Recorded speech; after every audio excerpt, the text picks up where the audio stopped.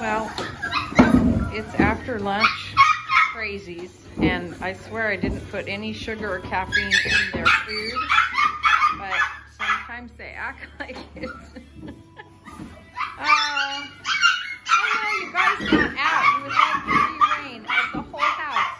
I'm sorry if I'm talking loud. I actually have headphones on to protect my hearing from the high-pitched, loud noises of